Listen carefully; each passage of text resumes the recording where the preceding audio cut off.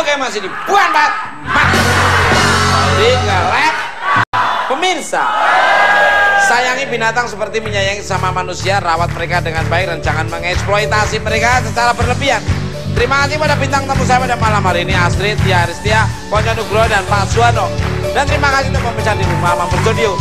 Saya hanya Deng dan Sekolah tidak ada motivasi untuk melecehkan. Dan kalau ada kata-kata yang kurang berkenan Kami mohon maaf. Ambil tontonan yang bagus dan yang kurang berkenan Ambil tontonan bukan kata Dan darah bukan kata terkenal